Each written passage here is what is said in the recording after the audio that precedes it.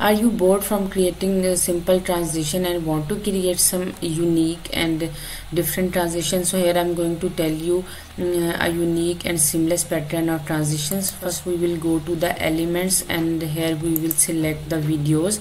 I will uh, just uh, choose from the canva.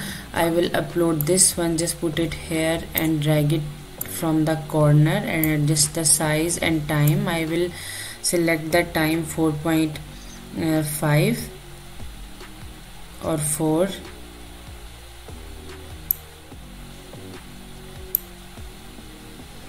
it's up to you how lengthy uh, your video um, is. So uh, I will uh, duplicate it again and uh, choose the time 1.5 or uh, now I will uh, choose the other video here and put it here again I will adjust the time 4.5 on the second page I will just uh, select an element to create transition. I will put it here uh, and make a pattern with this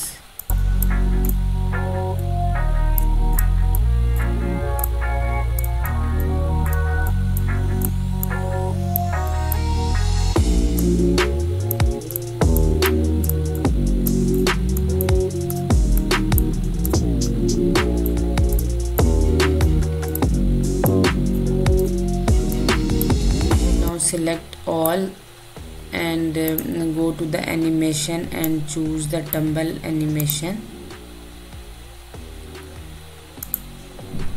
Now we will play our video and see how our animation looks like.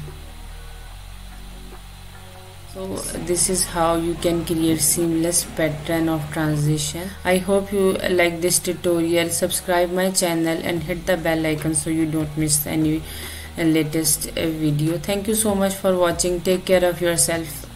Bye bye